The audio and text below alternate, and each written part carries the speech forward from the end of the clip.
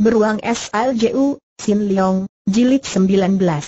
Sedangkannya keenam pahlawannya Pangeran Galik telah mendengar ribut-ribut, segera keluar dari kamar mereka. Dan juga mereka telah bersiap-siap berdiri di samping junjungan mereka. Untuk menjaga suatu kemungkinan yang tidak mereka inginkan. Pangeran Galik telah menoleh kepada salah seorang pahlawannya itu, katanya, pergi kau memanggil Kuncu dan Yo Kong Chu pahlawan itu mengiyakan, dia pergi memanggil Sesana dan Yohem, yang telah datang dengan cepat. Belum lagi Pangeran Galik sampai menceritakan suatu apa pun pada Sasana, Pek Siang Set telah kembali dengan wajah yang guram. Yang datang berkunjung Sim Tai Kam dari istana, Pangeran melapor Pek Siang Set. Muka Pangeran Galik berubah. Sim Tai Kam atau orang kebiri Sisim itu, yang biasanya dipanggil dengan sebutan Sim Kong Kong merupakan Tai Kam yang selalu mendampingi Kaisar dan juga orang kepercayaan Kaisar. Sekarang Tai Kam itu menemuinya di rumah penginapan, inilah urusan luar biasa dan jarang terjadi. Malah, Sim Tai Kam, membawa firman melapor Hek Siang Set lebih jauh. HMM membawa firman tanya Pangeran. Galik yang perasaannya semakin tidak tenang. Pek Siang Set membenarkan. Sim Tai Kam perintahkan agar pangeran segera keluar menyambut firman kata Pek Siang Set lebih jauh. Pangeran Galik menghela napas, kemudian dia menggumam, HMM, jika dilihat demikian, tentunya Tiat Chu Atong telah mendahului kita tiba di kota raja tetapi Pangeran Galik dengan langkah lebar telah keluar dari kamar itu. Ketika dia tiba di ruang bawah, benar saja dilihatnya Sim Tai Kam tengah berdiri megah dengan sikap yang keagung-agungan, di pinggir kiri kanannya tampak dua orang Tai Kam muda yang masing-masing memegang sebuah tambur berukuran tidak begitu besar. Pangeran Galik segera menghampiri Tai Kam itu, dia telah membungkukkan tubuhnya menjura kepada Sim Tai Kam, katanya, ada perintah apakah dari Kaisar sampai Sim Kong Kong menemuiku kemari tetapi muka Sim Tai Kam tetap dingin karena dia hanya memperlihatkan senyuman ketus dan matanya memandang tajam sekali. Berbeda dengan sebelumnya, di mana Sim Tai Kam sangat menghormati Pangeran Galik. Karena jika ingin dibanding-bandingkan, Pangkat Sim Tai Kam tidak berarti banyak buat seorang pangeran yang memiliki kekuasaan yang sangat besar terhadap angkatan perang Mongolia seperti Pangeran Galik. Apakah kau tidak mau segera berlutut untuk menerima firman Kaisar bentak Sim Tai Kam dengan suara yang dingin? Tentu saja hal ini tidak diduga oleh Pangeran Galik, bahwa Sim Tai Kam akan bersikap kurang ajar seperti itu padanya. HMM, Menerima firman Kaisar tanya Pangeran Galik dengan suara yang dingin juga tidak senang oleh sikap Taikam tersebut. Baik. Mengenai penerimaan firman aku tentu mengetahui caranya harus bagaimana, kukira tidak perlu Sim Kong Kong menjelaskan lagi kepadaku. Tapi sekarang yang ingin kutanyakan kepada Sim Kong Kong, apakah demikian sikap seorang Tai Kam yang tengah berhadapan dengan seorang panglima terbesar dari seluruh angkatan perang Sim Tai Kam memperdengarkan suara mendengus dingin, katanya, panglima terbesar dari seluruh angkatan katanya dengan suara yang tawar sekali, dan berulang kali mendengus tertawa dingin, baru kemudian melanjutkan perkataannya lagi, firman Kaisar akan segera dibaca, berlututlah membarengi dengan perkataan Sim Tai Kam, segera juga kedua orang Tai Kam muda berdiri di sisi kiri dan kanan Sim Tai Kam telah memukul tambur mereka, suaranya bertalu-talu nyaring sekali. Sedangkan Sim Tai Kam telah mengeluarkan segulungan kertas, diangkat tinggi-tinggi, teriaknya dengan suara yang lantang, firman Kaisar akan segera dibacakan. Harap diterima sebagaimana layaknya walaupun mendongkol dan gusar, Toh Pangeran Galik tidak berani main-main dengan firman Kaisar. Dia telah menekuk kedua kakinya berlutut untuk menerima firman. Segera juga Sim Tai Kam telah membacakan firman itu dengan suara yang nyaring. Kaisar telah memutuskan seluruh kekuasaan yang berada di tangan Pangeran Galik diambil alih keseluruhannya sampai persoalannya dapat diselesaikan. Dan Pangeran Galik diperintahkan untuk segera menghadap ke istana. Firman ini dikeluarkan untuk menjaga keamanan negara dan jika Pangeran Galik menolak firman ini akan segera diambil tindakan yang jauh lebih tegas lagi, lantang dan nyaring sekali suara Taikam itu, sedang tubuh Pangeran Galik yang tengah berlutut itu bergemetaran.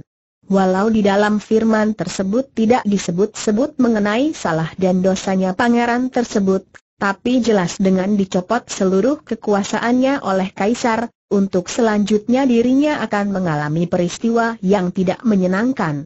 Sim Tai Kam waktu itu telah berkala lagi, dan kami harap pangeran bersedia untuk ikut bersama kami tanpa menimbulkan kerusuhan muka pangeran Galik berubah pucat.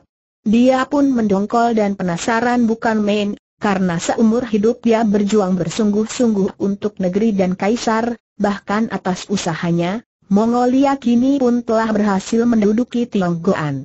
Semua itu merupakan jasanya yang tidak kecil karena Pangeran Galik berhasil untuk mengadu domba para jago-jago daratan Tionggoan di samping itu pun berhasil memengaruhi para pembesar kerajaan Song, sehingga mereka bersedia bekerja untuk Mongolia yang akhirnya membawa keruntuhan untuk kerajaan Song tersebut. Tapi sekarang, justru Pangeran Galik telah difitnah oleh Tiat Chu Atong, di mana Kaisar begitu saja mengambil keputusan mempercayai laporan palsu Tiat Chu Atong. Betapa urusan ini membuat Pangeran Galik jadi penasaran bukan main. Sim Tai Kam yang melihat Pangeran Galik hanya berlutut berdiam diri dengan muka yang pucat, segera berkata lagi, Pangeran Galik, ini adalah perintah Kaisar engkau benar-benar hendak membangkang Pangeran Galik bangkit dengan lesu, tanyanya, sesungguhnya Sim Kong Kong, apa dosa dan kesalahanku, sehingga Kaisar mengeluarkan firman seperti itu? Itu akan kau ketahui jelas jika telah bertemu dengan Kaisar, sekarang kau harus ikut bersamaku untuk kembali ke kota Raja. Tunggu dulu Sim Kong Kong, apakah memang Kong Kong dapat menjelaskan, semua ini mungkin disebabkan oleh Koksu yang telah kembali ke kota raja. Bukankah begitu kata Pangeran Galik lagi? Sim Tai Kam tersenyum tawar, sikapnya sinis sekali, dia menyahuti, untuk urusan ini aku tidak mengetahuinya dengan jelas, karena aku hanya menerima tugas untuk membawa firman dan untuk itu harap pangeran mau memberi muka padaku, tidak mempersulit kedudukanku. Pangeran Galik tersenyum tawar kemudian tanyanya lagi, kalau memang ini menyangkut persoalan Tiat Chu Ho Atong, aku hendak menjelaskan kepada Kaisar semua duduk persoalannya, ya. Jika memang Pangeran Galik telah sampai di kota raja, tentu kau dapat menjelaskan segala-galanya kepada Kaisar, karena itu sekarang harap bersedia untuk ikut bersama dengan kami ke kota raja tapi tidak bisa dengan care seperti ini, di mana statusku sebagai tawanan kata Pangeran Galik. Pangeran-pangeran Galik menggelengkan kepalanya perlahan, wajahnya muram sekali. Di dalam urusan ini tersangkut penasaran, karena itu tak dapat aku menuruti begitu saja untuk ikut ke kota raja bersama dengan Sim Kong Kong.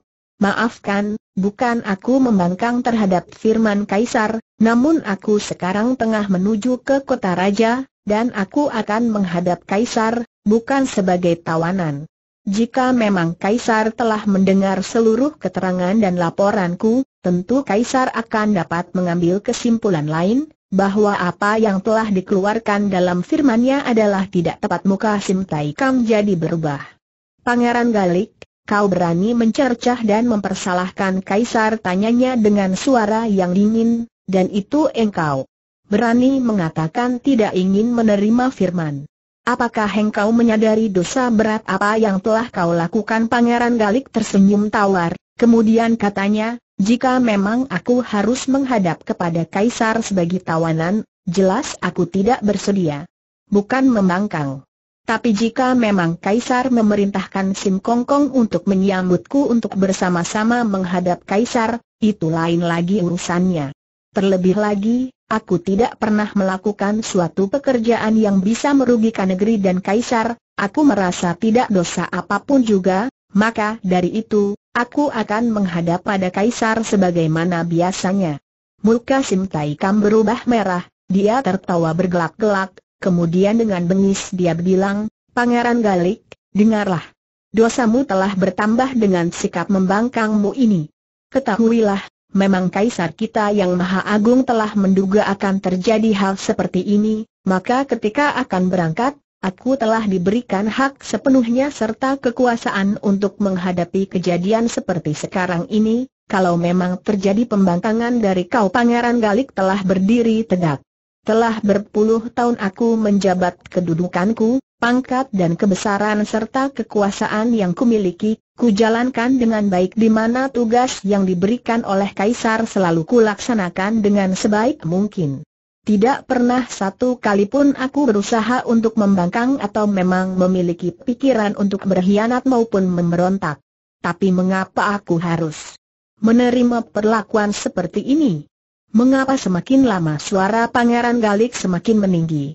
Melihat ini Sim Kong Kong telah tertawa dingin, tapi hatinya sesungguhnya jare karena dia mengetahui bahwa Pangeran Galik memiliki kepandaian ilmu silat yang tinggi. Di samping itu juga memang Pangeran Galik masih memiliki kekuasaan yang besar dan pengaruh yang tidak kecil pada angkatan perang Mongolia. Jika memang terjadi sesuatu pada diri Pangeran Galik, sehingga berita itu tersiar, jelas akan menimbulkan kerusuhan di antara angkatan perang Mongolia, inilah yang tidak dikehendaki oleh Kaisar. Dan sebelum Sim Tai Kam berangkat untuk membawa firman, memang telah dipesan agar mengundang Pangeran Galik secara baik-baik, dan baru mengambil tindakan kekerasan jika keadaan memaksa sekali. Pangeran Galik, soal dosa dan kesalahan apa yang telah kau lakukan semua itu belum lagi jelas, sebab itulah jika memang kau menghadap Kaisar, kemungkinan besar urusan ini bisa diselesaikan. Karena itu, janganlah pangeran menimbulkan kesulitan untuk dirimu sendiri. Alangkah bijaksananya jika bersedia ikut bersama denganku secara baik-baik Sim Kong Kong. Kau kembalilah ke kota raja dan sampaikan kepada Kaisar, dalam beberapa hari mendatang, aku pun akan segera menghadap pada Kaisar. Kukira, tidak perlu dengan care pemanggilan seperti ini, aku tidak akan menyingkirkan diri. Karena memang aku pun memiliki laporan yang penting untuk Kaisar. Muka Sim Tai jadi berubah tak enak dilihat. Kemudian katanya dengan suara yang tawar, HMMM, jika memang demikian, baiklah, Terpaksa aku tidak berani melanggar perintah yang diberikan oleh Kaisar. Aku harus kembali menghadap Kaisar bersamamu waktu itu Sasana telah keluar dari kamarnya, tanya si gadis dengan wajah berubah pucat ketika melihat Sim Tai Kam, ada apa? Ayah Pangeran Galik telah memandang sejenak pada putrinya, kemudian katanya perlahan, Tiat Chu Ho Atong telah tiba lebih dulu di kota raja. Inilah utusan Kaisar, Muka Sasana jadi berubah semakin pucat, dia mengerti apa yang telah terjadi. Karenanya dia telah berkata dengan suara tergagap, Ayah ini, ini kau kembalilah ke kamarmu. Biarlah ku hadapi semua ini kata Pangeran Galik. Tidak ayah. Kau harus dapat menjumpai Kaisar. Jika memang kau harus ikut dengan Sim Kong Kong tentulah perkaramu ini akan ditangani orang lain aku pun bukan hendak ikut bersama Sim Kong Kong kata Pangeran Galik, aku telah meminta pada Sim Kong Kong, bahwa aku akan pergi sendiri menghadap pada Kaisar. Tapi ayah, Pangeran Galik tersenyum getir, katanya, Hem engkau ingin mengatakan, begitu aku tiba di kota raja tentu aku akan disergap dan ditawan oleh orang-orangnya kaisar. Bukankah begitu Sasana mengangguk? Ya, sekarang urusan telah menjadi lain lagi, ayah. Jika beberapa lama yang lalu, kita memang bermaksud untuk ke kota raja guna menghadap kaisar. Jika memang keadaan telah berubah jadi demikian, di mana kaisar telah dipengaruhi Koksu, Lalu tidakkah sangat bahaya jika memang ayah tetap datang ke kota raja untuk menghadap Kaisar Sim Kong Kong waktu itu telah berkata dengan suara yang nyaring, Pangeran Galik, apakah tetap kau tidak mau turut serta dengan kami? Atau memang aku terpaksa harus memaksamu Pangeran Galik telah tersenyum pahit, katanya, Sim Kong Kong, seperti yang telah kukatakan, engkau kembali ke kota raja dan aku akan menyusul segera menghadap Kaisar. Percayalah aku tidak akan melarikan diri namun Sim Tai Kam telah-telah menggelengkan kepalanya, dia telah mendengus dingin kedua tangannya digerakkan, bertepuk tangan. Dari luar penginapan tampak masuk ke dalam puluhan tentara berpakaian lengkap, mereka semua memiliki tubuh yang tinggi tegap dan juga memang merupakan pasukan istana kaisar, di mana mereka diperbantukan pada Sim Kong Kong. Melihat itu, alis Pangeran Galik telah mengkerut dan telah memandang tajam, katanya dengan tawar. Apakah Sim Kong memang bersungguh-sungguh hendak menangkapku HMM, apakah perintah Kaisar dapat dilalaikan sahut Sim Tai Kam? Waktu itu Pangeran Galik menyadari bahwa dirinya tidak mungkin bisa meloloskan diri lagi dari Tai Kam ini, karena jika dia mengadakan perlawanan, berarti dirinya bisa dicap sebagai pemberontak, dan untuk selanjutnya Kaisar lebih mempercayai kepada Koksu negara. Karena itu dia telah mengawasi Sim Tai Kam beberapa saat lamanya. Sampai akhirnya dia telah berkata dengan suara yang mengandung kedukaan, Sim Kong Kong baiklah daripada timbul kerusuhan di sini aku ikut bersamamu ke kota raja, Sasana terkejut mendengar keputusan ayahnya. Ayah, kau tidak boleh ikut serta dengan mereka, karena engkau bisa dicelakai oleh mereka teriak Sasana. Pangeran Galik telah merangkul puterinya katanya dengan suara yang perlahan mengandung kedukaan, anakku pergilah kau kembali ke istana kita, kau nantikan aku. Jika memang aku tidak ke rumah dalam waktu tiga bulan, untuk selanjutnya kau tidak perlu memikirkan aku pula, karena telah terjadi sesuatu yang tidak kita inginkan. Tapi jika memang di waktu tiga bulan itu aku telah bisa memberikan pengertian pada Kaisar dengan laporan yang sebenarnya. Sasana jadi menangis, air matanya mengucur deras sekali. Dan di saat itu Yohim yang juga telah keluar dari kamarnya, melihat betapa ayah dan anak itu saling merangkul bertangis-tangisan. Pangeran Galik telah melirik kepada Yohim, lalu katanya, Yo Kong Chu, kutitipkan putriku ini agar dapat kau lindungi dengan baik. Sim Tai Kam telah mendengarkan suara tertawa dengan katanya tawar, oh, kiranya Yo Kong Chu yang merupakan putra dari Sim Tiao Tai Hiap Yoko berada bersama-sama dengan kalian dan melakukan perjalanan bersama denganmu juga, Pangeran Galik? Sungguh suatu persahabatan yang akrab sekali, sehingga engkau pun mempercayai puterimu untuk dijaga baik oleh pemuda itu jelas kata Sim Tai Kam itu memang mengejek Yohim dan terutama untuk memojokkan Pangeran Galik. Waktu itu sebagai seorang pangeran yang telah lama berkecimpung dan juga memimpin angkatan perang Mongolia, otak Pangeran Galik telah bekerja cepat sekali. Segera ia berpikir, dia telah melakukan suatu kesalahan yang paling besar sekali, karena bukankah kelak Sim Tai Kam bisa saja melaporkan kepada Kaisar bahwa dia menjalin hubungan yang erat dengan Yohim, puteranya Sim Tiao Tai Hiap Yoko tapi semua itu telah terjadi dan Pangeran Galik hanya menghela napas saja. Mari kita berangkat Pangeran Galik ajak Sim Tai Kam dengan suara yang tawar. Pangeran Galik menghela napas. Dia bersedia untuk ditawan oleh Sim Tai Kam dan orang-orangnya untuk dibawa ke kota raja karena dia mengetahui, jika sampai terjadi pertempuran antara Hek Pek Siang Set dan para pahlawannya tentu akan jatuh korban. Dan itu akan menambah buruknya pandangan Kaisar padanya. Karena itulah, akhirnya dia memilih jalan mengalah untuk ikut serta dengan Sim Tai Kam untuk pergi ke kota raja menghadap Kaisar. Hal itu juga menyangkut akan keselamatan putrinya, jika sekarang ini Pangeran Galik memberikan perlawanan, untuk selanjutnya ia akan dicap sebagai pemberontak, dan tentu saja seluruh keluarganya akan disapu bersih memperoleh hukuman juga. Dan Sasana pun tentu tak akan terhindar dari hukuman mati juga. Hek Pek Siang Set mendengar bahwa Pangeran Galik bersedia untuk ikut bersama Sim Tai Kam, segera melompat ke samping Pangeran. Kedua jago yang setiap pada Pangeran Galik ini juga menyadari, memang junjungan mereka sulit sekali untuk menolak firman Kaisar. Namun di samping itu karena Hek Pek Siang Set mengetahui junjungan mereka itu tengah mengalami peristiwa penasaran, mereka bersedia untuk membela mati-matian pada pangeran ini.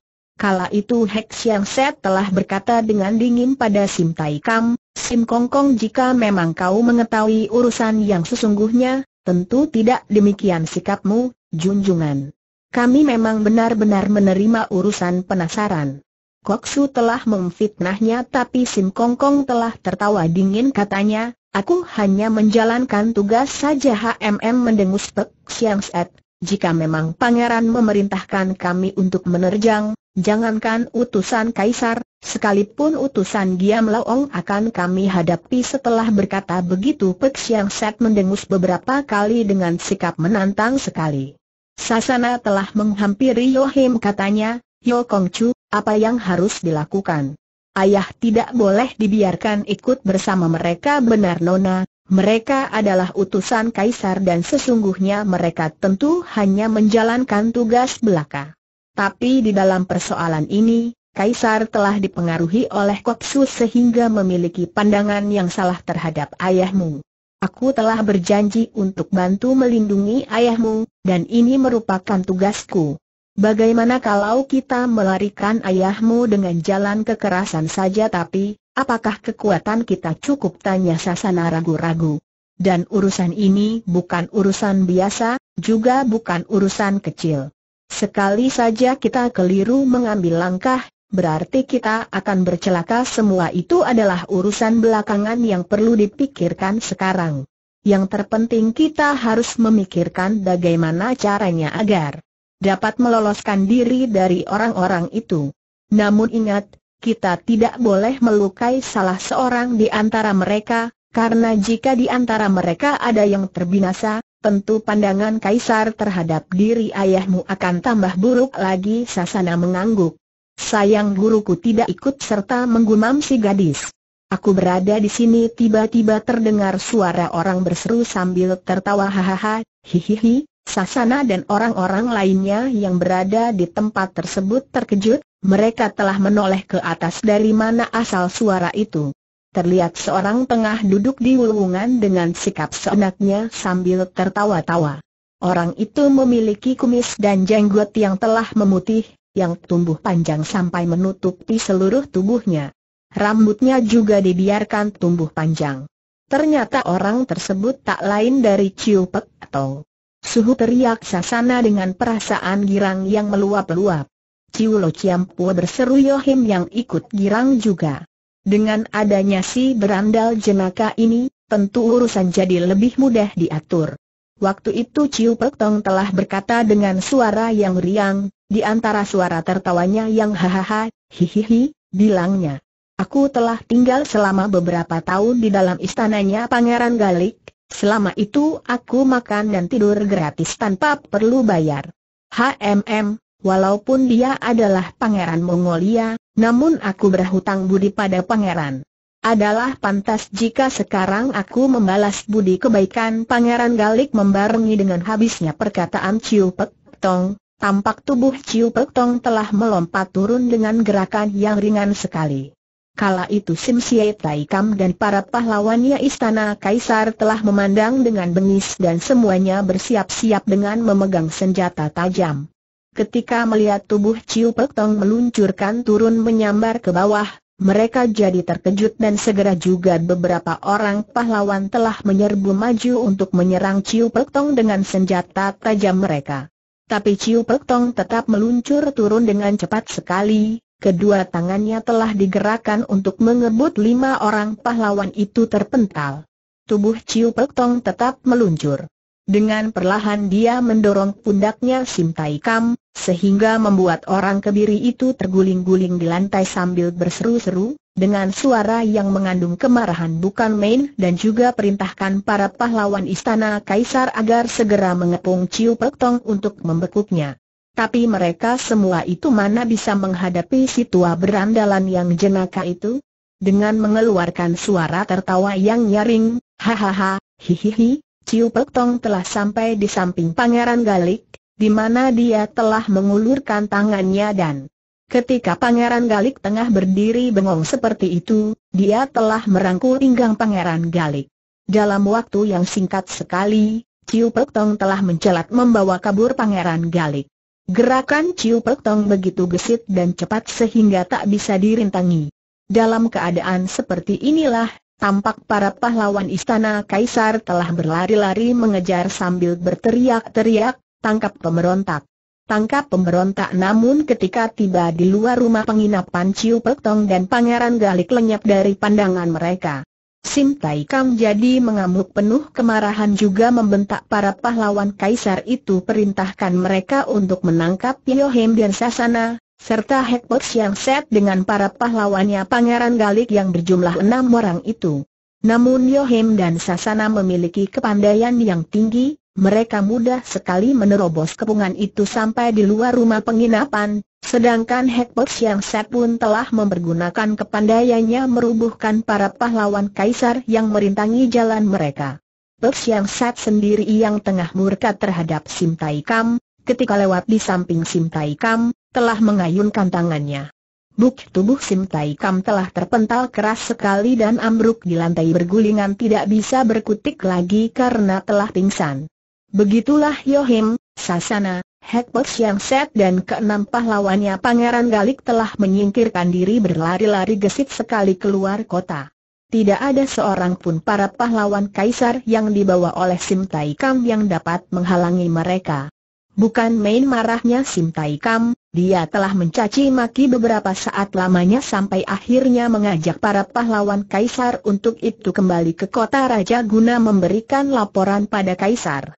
Sesungguhnya, jika saja Kaisar mau mendengar petunjuk tiap Chu Hoat Ong, tentu sulit buat Pangeran Galik terlolos dari tangan mereka. Karena Tiat Chu Hoatong telah meminta kepada Kaisar agar mengikut sertakan para pahlawannya, jago-jago silat yang memiliki kepandaian tinggi. Namun Kaisar telah menolak permintaan Koksu tersebut. Menurut Kaisar, Pangeran Galik yang masih terikat darah sebagai saudara sepupunya, tentu tidak akan membangkang terhadap firmannya. Karena itu, Kaisar hanya perintahkan para pahlawan Kaisar untuk ikut serta mengiringi Sim Tai Kam. Tapi hasil yang diperoleh adalah kegagalan belaka.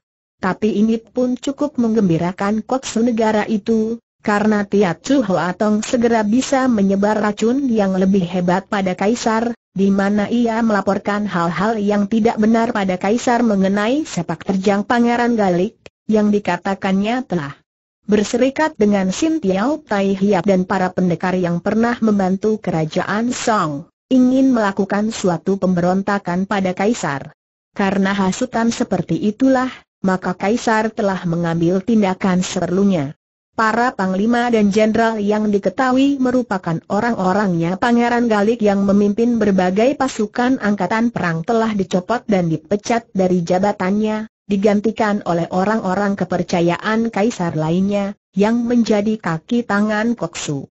Terlebih lagi dengan terjadinya peristiwa di mana Pangeran Galik tidak mau menerima firman dan telah melarikan diri ditolong oleh kawan-kawannya, di mana Sim Tai Kam juga menceritakan di dalam rombongan Pangeran Galik itu terdapat juga Yohem Putra Sim Tiao Tai Hiap Yoko. Hasutan koksu negara itu makin termakan oleh kaisar yang semakin mempercayai keterangan palsu koksu tersebut. Karena itu, setelah Sim Tai Kam melaporkan kegagalannya menunaikan tugas untuk menangkap dan membawa Pangeran Galik ke kota raja, Kaisar telah bersungguh-sungguh menghadapi masalah ini. Dikerahkannya beberapa orang pahlawan pilihan dari istana Kaisar untuk memimpin pasukan melakukan pengejaran menangkap Pangeran Galik. Juga di samping itu Kaisar telah memerintahkan pada Tiat Chu Atong agar Koksu ini memimpin jago-jago yang berada di bawah kekuasaannya untuk segera melakukan pengejaran pada Pangeran Galik, guna menangkapnya. Tentu saja perintah itu menggembirakan Koksu tersebut, di mana dia telah dapat memiliki kekuasaan yang penuh untuk menangkap Pangeran Galik. Maka dua hari kemudian, Tiat Chu Ho Atong telah berangkat diiringi oleh Go Chin Talu, Lengki Lumi dan lain-lainnya melakukan pengejaran pada Pangeran Galik. Selama berada di Istana Kaisar, memang Tiat Chu Ho Atong telah menyembuhkan luka dalamnya. Di mana semangat dan tenaga murninya telah terkumpulkan kembali, sehingga pendeta Mongolia yang menjadi koksu negara tersebut bersemangat sekali. Dia yakin dengan dibantu oleh jago-jagonya tentu dia bisa menangkap Pangeran Galik. Hanya yang dikhawatirkan oleh Tiat Chu Ho Atong cuma Suat Tocu saja.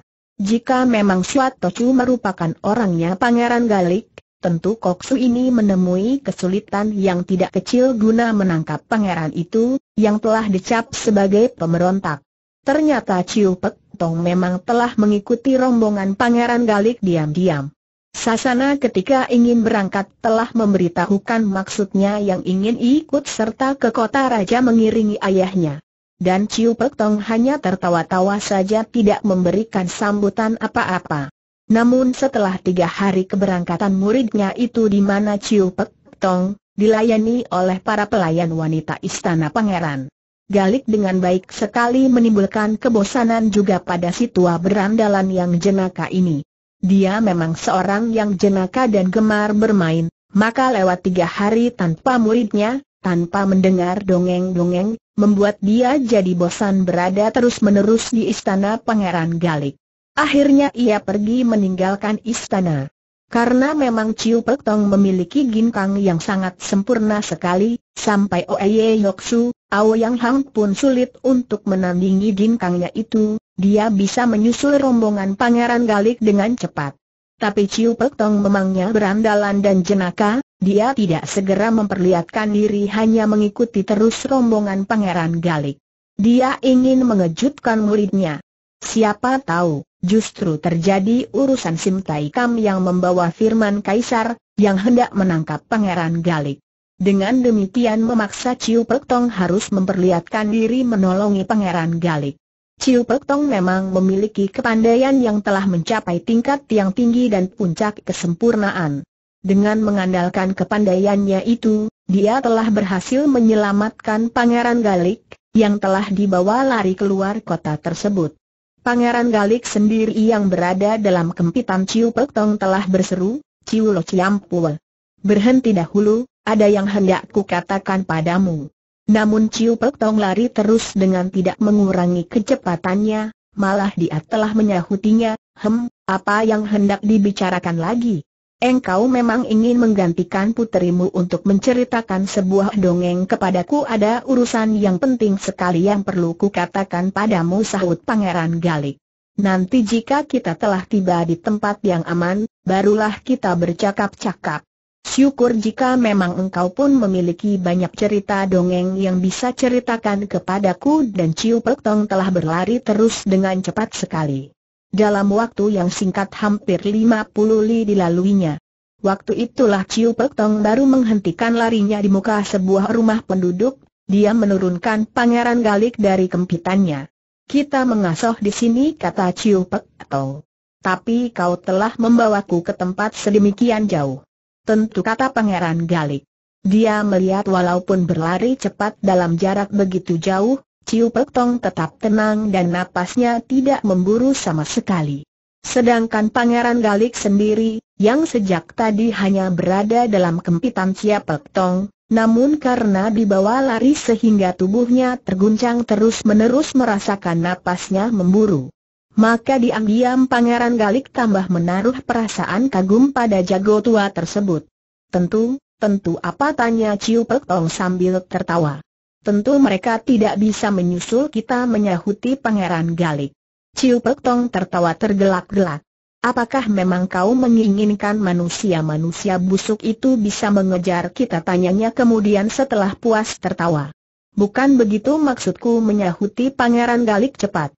Maksudku Yo Kong Chu dan yang lain-lainnya itu bersama dengan puteriku, tentu mereka tidak mencari kita, karena kita berada di tempat yang demikian jauh, Terlebih lagi ginkang mereka tentunya tidak sehebat yang dimiliki Ciu Lo Pua mendengar perkataan Pangeran Galik, Ciu Pek Tong jadi berhenti tertawa dia memandang bengong. Kemudian dia mengangkat tangannya mencabuti kumisnya itu dengan sikap seperti sedang berpikir keras. Benar juga, apa yang kau katakan pangeran kata Ciu Pek kemudian. Kita telah meninggalkan kota itu terlalu jauh, ai, ai, tentu mereka tidak akan dapat menyusul kemari sebab setelah mencari-cari kita belasan li jauhnya, mereka akan mengambil arah lain. Celaka. Sungguh celaka sambil berkata begitu, Ciu Pek telah berjingkrak-jingkrak.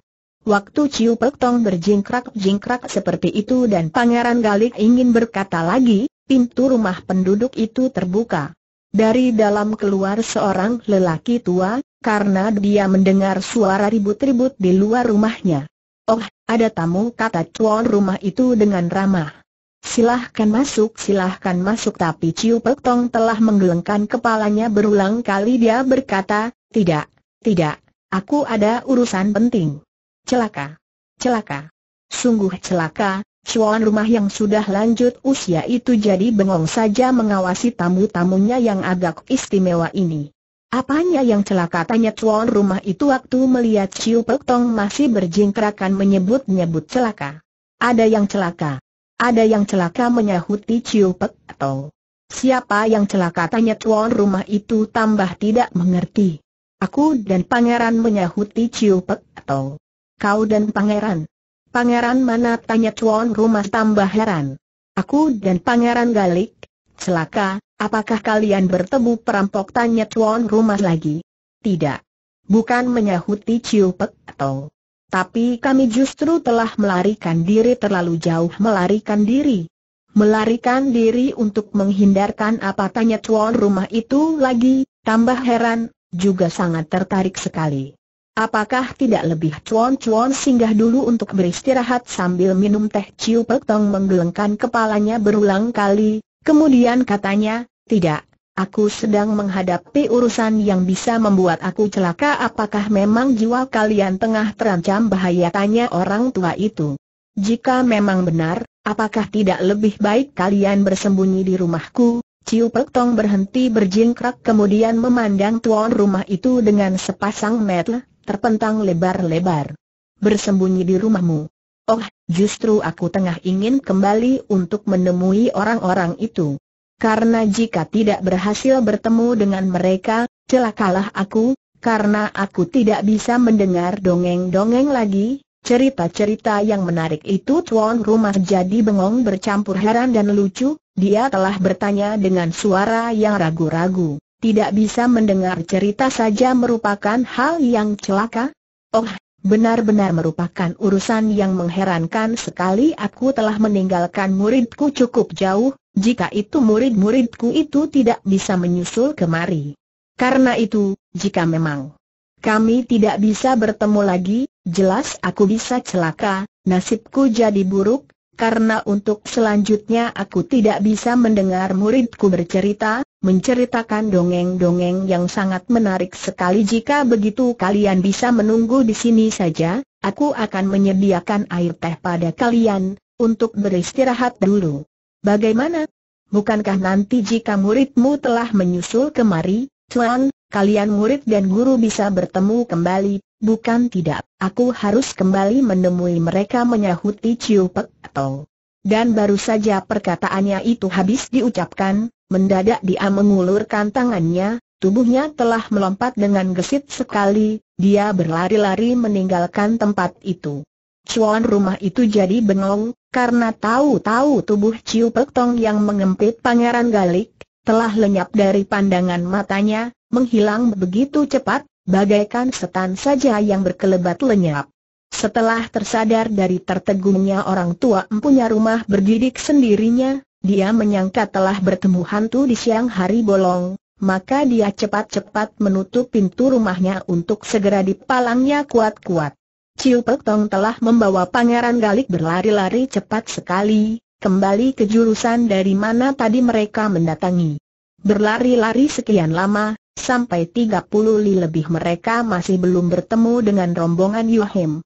Apakah mereka telah ditawan oleh Sim Tai Kam menggumam Pangeran Galik dengan suara mengandung kekhawatiran? Apa kau bilang tanya Ciu Pek Tong sambil menahan larinya? Aku khawatir, aku khawatir kata Pangeran Galik dengan wajah muram. Kau khawatir, khawatir apa tanya si tua berandalan jenaka itu? Apa yang dikhawatirkan pangeran aku khawatir mereka tidak bisa meloloskan diri dari orang-orangnya Sim Kong Kong menyahuti pangeran Galik. Sim Kong Kong, orang kebiri itu tanya Ciu Pek Tong.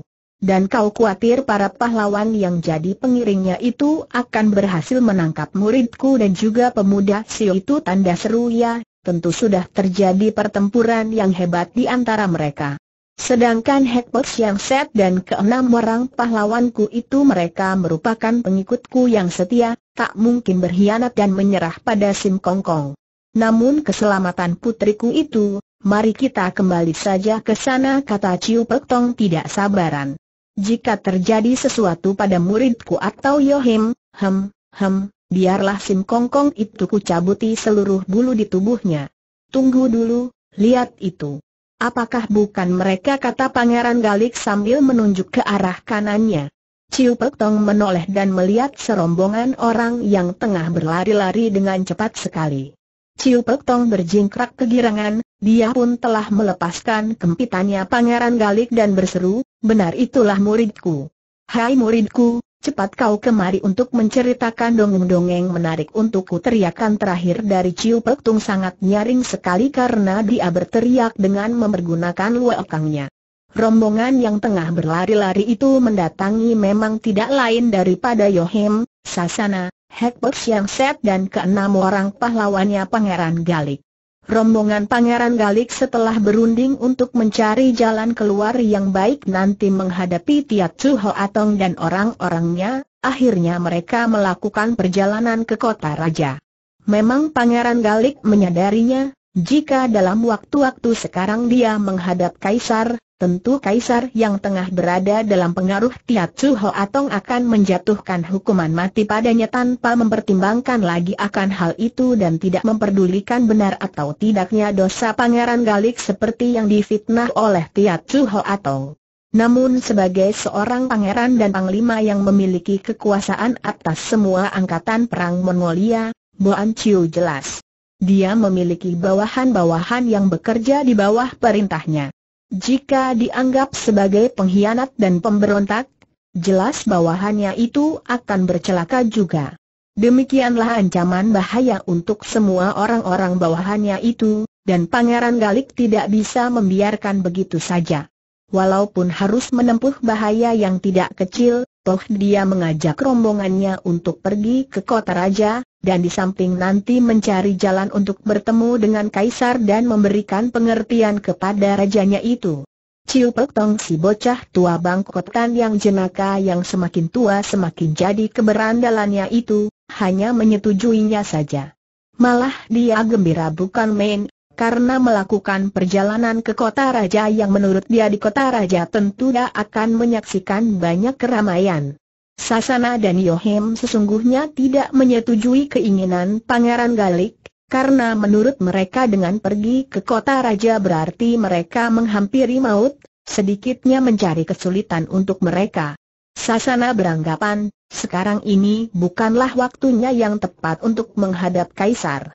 Putri Pangeran Galik ini berpendapat, jika keadaan telah reda dan dalam kesempatan tertentu yang tepat sekali, barulah ayahnya itu menghadap kaisar untuk menjelaskan duduknya perkara. Pangeran Galik tetap dengan keinginannya itu, di mana dia bersama rombongannya akan pergi ke kota raja, untuk menjelaskan duduknya persoalannya pada kaisar.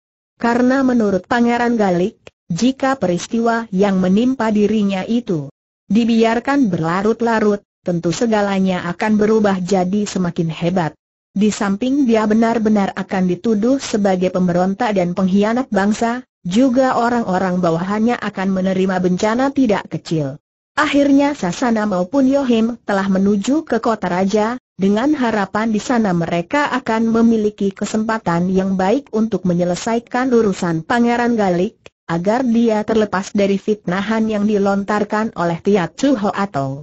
Dengan adanya Ciu Pek Tong bersama mereka, Memang rombongan Pangeran Galik tidak perlu dijuri terhadap siapa pun juga, karena L.O. Bantong ini seorang tokoh yang memiliki kepandaian pada puncak kesempurnaan dan boleh dibilang sudah tidak ada tandingannya lagi di zaman ini selain beberapa tokoh rimba persilatan lainnya yang jumlahnya bisa dihitung dengan jari tangan dan mereka semua umumnya telah mengundurkan diri hidup mengasingkan diri di tempat-tempat yang sunyi. Begitulah, rombongan Pangeran Galik telah melakukan perjalanan ke kota raja. Untuk mencapai kota raja sesungguhnya tidak memerlukan waktu perjalanan yang terlalu lama. Sebab memang mereka telah berada dalam jarak yang cuma dua hari perjalanan guna mencapai kota raja. Bintang-bintang yang memenuhi permukaan langit yang tersebar puluhan ribu, mungkin ratusan ribu atau jutaan, yang kerlap-kerlip dengan sinarnya, dan juga rembulan yang waktu itu tidak bersinar penuh, dalam bentuk seperti perahu mayang dengan sinarnya yang tidak begitu terang, dan awan-awan yang bersih hanya di beberapa bagian saja, di permukaan langit yang dilaluinya merupakan malam yang sangat cerah dan bersih sekali indah bukan main.